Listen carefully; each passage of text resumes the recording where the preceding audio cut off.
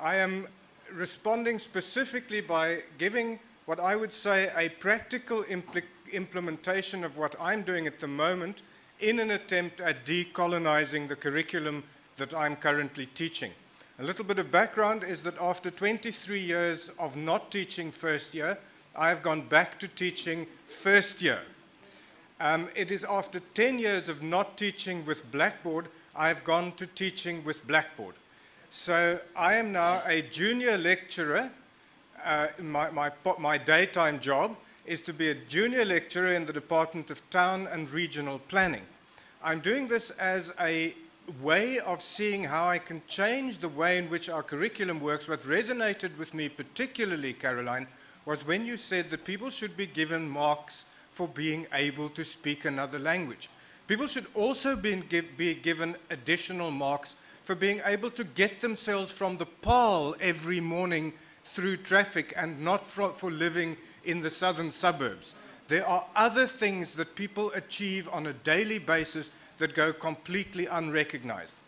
So the model that I take for my teaching is something that I learned very hard last year called Pokemon Go. I don't know who of you are players of Pokemon Go. Not one.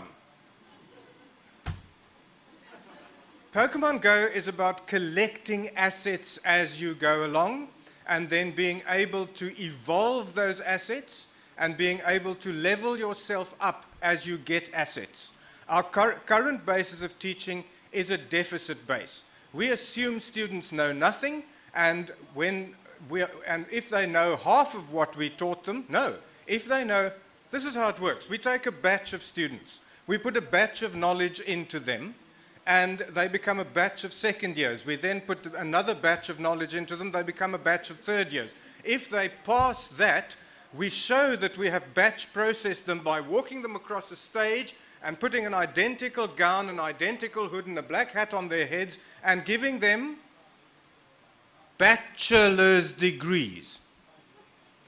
And the way in which we do those bachelor's degrees is by teaching them less and less and less because we have this thing called reduction of, of content, which means making it less. The way most lecturers do that is when you, between the staff room and the classroom, what you remember to teach, that's what you'll be teaching. When it becomes time for the exam, what you remember to ask is what you'll ask, and if the, children, if the students are able to remember half of that, they pass, which means it gets less and less and less, which is why they are called lessons, and the product of that is called morons. So I'm going to take you through a little trick of how I have been trying to make every single thing that a student does for me count. I have no idea what the final mark will be because I don't know what I've taught them yet, and I don't actually teach them, they're supposed to learn. Uh, if I teach them, then what will they learn? So if we're lucky, there will be some slides appearing soon. Uh, please tell me that there's going to be a slide appearing soon. Oh, very good. Which is halfway there. So I'm going to show you how I've been doing asset-based teaching in my classroom um, as a junior lecturer. And this is my opening screen. Students see this screen about uh, a week before they come to class. It has an Adinkra symbol for communication on the top. And they get told that this course, the aim of this course is to make sure that they will pass the other courses. So I've moved it from a language teaching to an academic literacy, campus literacy type of test. The first thing they have are called learning activities, and they have to prepare for those learning activities in advance. What occurs in class is that they will start telling me what they did when they were preparing for those various learning activities. The first learning activity is to watch a little YouTube video clip of two young ladies, one introducing the other, saying, This is my friend Sally, and this is what my friend Sally does. Please welcome my friend Sally. When they come to class, they, they then see me for the first time and one another for approximately the first time. They spend about 20 minutes interviewing one another in whatever language they choose uh, and after they've had that interview, they then stand up and they have to introduce one of their colleagues. and we then crowdsource the grade that they will get between 0 and 5. So I put up, I just say 1, 2, 3, 4, 5, and where the most hands get up, that is the grade that they will obtain for that. If you have 60 students doing that for one minute each, it takes you an hour. I thought it was crashingly boring. The students thought it was absolutely amazing getting to know their colleagues on that first day. That is when I got to know that at least four of my students traveled on a daily basis from Paarl. I would not have known that if I hadn't got them to tell me that. We also did a thing about getting to know ourselves. They had to do an online temperament test that said whether they were melancholy, choleric, uh, or whatever else those various temperaments are. Since that is all hogwash anyway, they have to do a little multiple choice test in which they acknowledge that this is just a way of finding a stereotype. The entire lecture is then about stereotypes and stereotyping rather than about temperaments and temperament inventories. I prefer to make them work with as little writing as possible because I think writing is deeply overrated as a communication medium. There are various other things with which one can communicate, and so therefore they go online to a website about mind maps. They do a little five mark test about what should be in a mind map, and then they get to draw their own mind maps. The mind map rubric that they have has about 50 half points, and when they come back to class with their mind maps, they get given a what I call a peer-assisted self-assessment. So there's the rubric. It looks at absolutely everything. It looks at the color used in the mind map. It looks at whether the lines are wavy. It looks at whether they put themselves in the middle of that mind map and their various subjects on the sides rather than to try and put the subjects in the mind map and so. So I'm trying there to make them visual learners. Here are some examples of their mind maps from which you can see that some of them are technologically quite advanced, um, but they make really bad mind maps when they do them by computer. You make really good mind maps if you do them by hand. In this assessment of their mind maps, it was quite fun to see how they had to negotiate meaning because they sit in front of the computer and they grade their mind. I, I sit in front grading myself while the two of you help me on the side. And we negotiate those marks as we go through in whichever language suits us. Um, I have to eventually teach language, but I discovered that if since their school teachers couldn't teach them a language in 13 years, I'm not going to do it in 13 weeks. So I found a really nice online website uh, where they could then do the language, to, uh, go through the website themselves. The website doesn't keep record of what they do, so I had to find some way of extracting the records out of them. This is the rubric of what I taught them. They had to learn grammar, punctuation, organization, style, and technical competencies about creating Word documents. Um, and they had to make a deliver deliverable of the one that you can see there. So this is all the word competencies. They also had to take a screenshot of the result of their test. They had to tell, and they had to do that test until get, they get full marks for it. Then only make the screenshot and paste the screenshot into the Word document. There are three ways of doing that. Firstly, you can, okay, I can't tell you that because it's too much of a hurry. Um, we also had to do Human Rights Day. It was a long weekend and I wanted to go away, so I gave them a self-study module where they went onto an Australian website that had a really good thing about human rights based on the UN uh, Human Rights Charter. They also got a, a multiple choice test on the South African Human Rights Charter, which is chapter 3 of the Constitution, which they did as a comprehension test for me. What else have I got here? Oh, yes. So those were the various assignments. They then also had to walk from the slave museum, which they visited, back to campus, and they had to look at their four subjects that they had been, uh, that they are studying and see what the human rights implications of those four subjects are. That had to be converted into a PowerPoint done by students in groups of three, and the PowerPoint had to be uploaded. So what you can see there is an example, human rights in relation to urbanization, human rights in relation to infrastructure and planning, etc. They then presented those to one another in class, and again, it was a peer grading assessment that we did. The next one we did was time management. They had to download something about time management. They then had to um, fill out the timesheets. And on the last day, before they had to submit the timesheets, there I found them in the studio quickly printing out timesheets and filling them out retrospectively. This is the mark sheet as it looked about three weeks ago. Uh, the best mark on the, on the screen there you will see is about 65 out of about 70, I'm guessing. I'm working on a completely criterion referenced way of marking. So, in other words, the ideal is that they must get full marks. So, I'm not going to have a normal distribution curve at the end. Students are either going to have very high 80s or fail. And the only way you can really fail is by not submitting anything. The last exercise uh, we had with them currently was when I gave them a final summative assessment, which was a multiple choice test covering all the work that I've done up to now. And there were 25 questions. They could do it three times. What was really, in, and they could do it from home or from the computer laboratory. And I went in there to just see what was happening. So it was really interesting when they heard that they could do this test three times. Some of them said, okay, well, in that case, I need to make very careful record of what I do when I answer it the first time, so that my marks will improve when I do it the second time.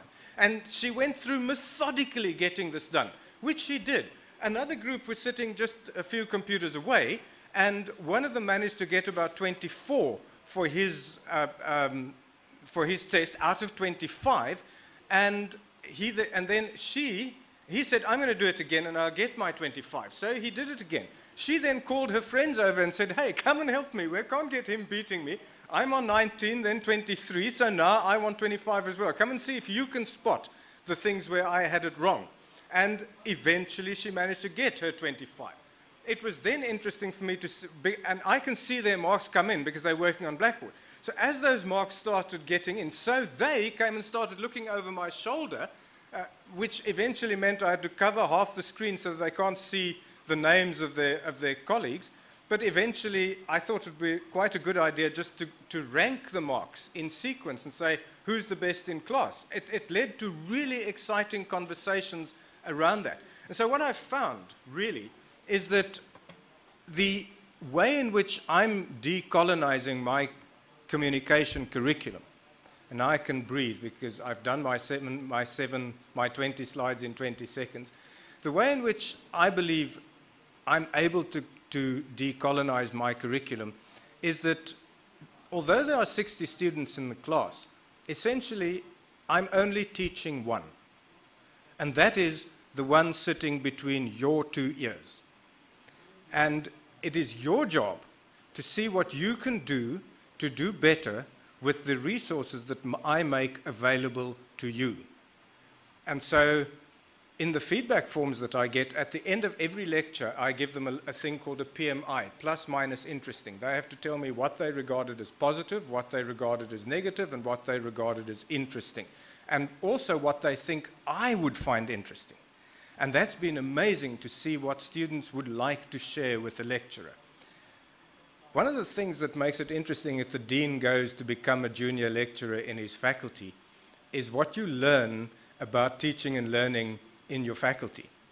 Because one of the students on feedback session five, under positive, said, I really like the way Mr. Cronje teaches. He is never late. I thought if at lecture five a student is pleased that there is a lecturer who is never late, it's not what he's saying about me, it's what he's saying about the rest of them. So we had some conversations about that. So, ladies and gentlemen, that's just briefly the way in which I've been trying to make a learner centered basis where I don't actually teach at all. I appear in class and I watch the students learn. Questions, comments?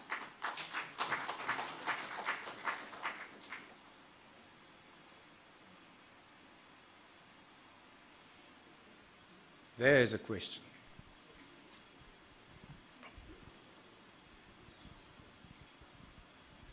Molweni. Um ndingupamela Maseko ndisuka eRhodes. Um okokuqala ndibulela uh ifundani abaququzeleli bale nhlangano into yoba bakwazi uku um ukwenza le nto sidla ngokuyithetha qha singayenzi um ukufumana abantu abazawuguqula uh ukufumana abantu uh for i-sign language. Ndiyabulela kakhulu uh Theo nabanye abantu abasebenza nawo ndiyabona kuxakekile phaa kufuna ukutolikela tata uyeva tata uyeva I, I do understand the translation. I understand Diavuya, so I know that you are very happy. I'm not altogether sure what you're very happy about, but the translator has been telling me. Ndi- ndi- ndi- ndizama ukukhulula thina ngoba sithi abantu abadla ngoxalathelana bafune ezi zinto um mibini imibuzo endinayo um iza kuya kucaroline no, no, notata okokuqala xa sithetha nge- nge-decoloniality um ne-language amaxesha amaninzi sithetha nge-language ngesixhobo sokunxibelelana phakathi kwabantu. Sithetha nge-language as a means of communication.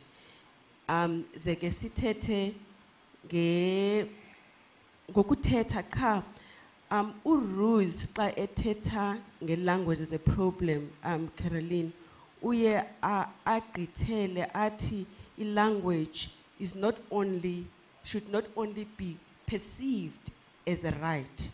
Um uthi makugqithelwe i- i-language isetyenziswe as a resource. Okay?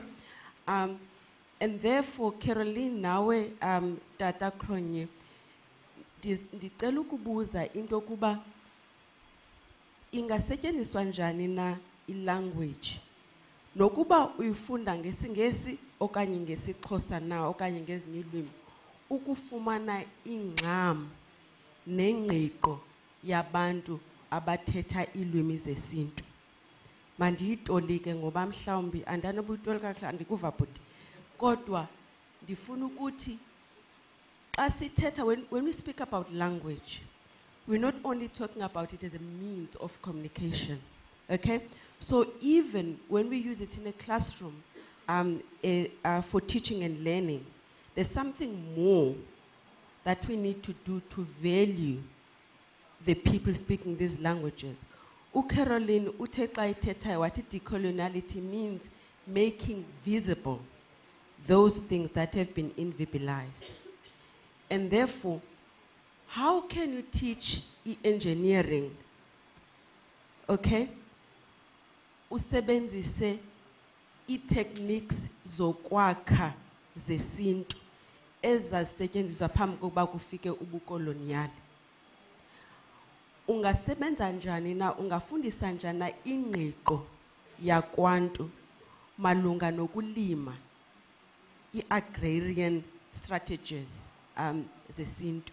Ungasebenza njani na um kwi-architecture kwi-design ukujonga indlela yokukrola i-carving ebesisebenzisa ii-angles and all that ebesisebenzisa phambi kokuba kufike um ubukoloniyali so xa mna xa sithetha nge-decoloniality umafeje uthi it's not only um, about i-language ukuba uthethe it's also about ideas in the language. It's also about the knowledge embedded in the language because xa ndithetha ndithetha isixhosa ndithetha isingesi kodwa kwisingesi endisithethayo ndingumxhosa kunobuxhosa.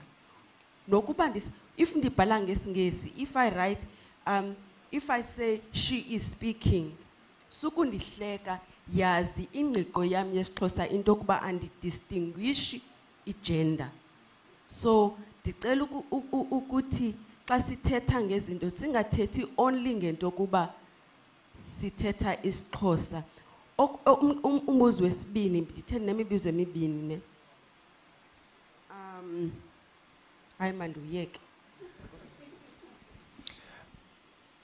Okay, I, I really like what you're saying. The subject that I'm dealing with, or the group to whom I am teaching this communication thing that I'm teaching, is the group of town and regional planning students. And what we have to realize about town and regional planning is there's a lot of legislation and mathematics that need, and geography uh, that needs to go into that. But the majority of their work will be done within communities. And so the majority of work that a town and regional planner does, he does with his eyes and his ears and his mouth, because he consults with communities about delivering a better place for them in which to live. And that's why I focus in my teaching of the students in, on multi-resource work, and, and language is but one of the resources, and English is but one of those language resources that they have.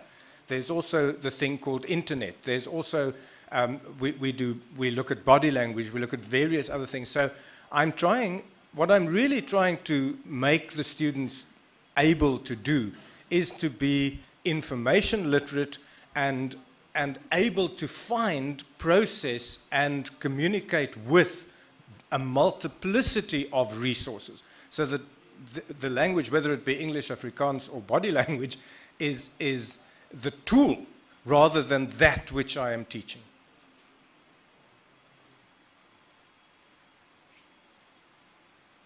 Um,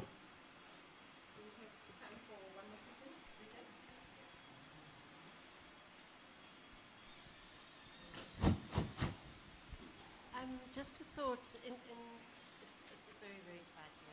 I love your multi-modal.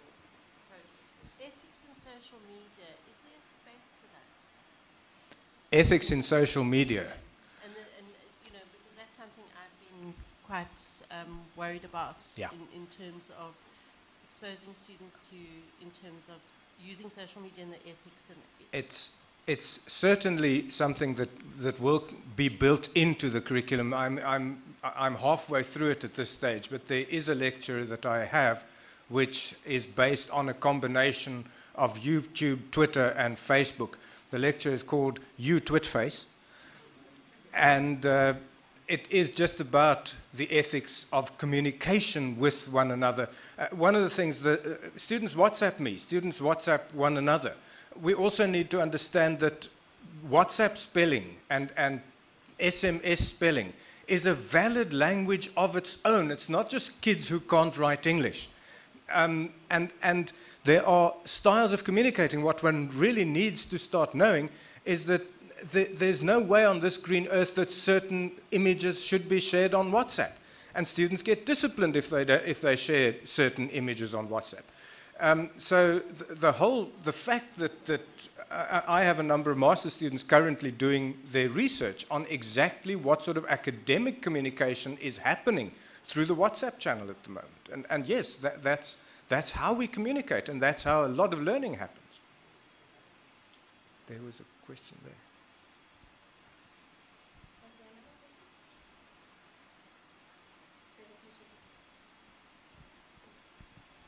Thank you. That was highly entertaining and very informative.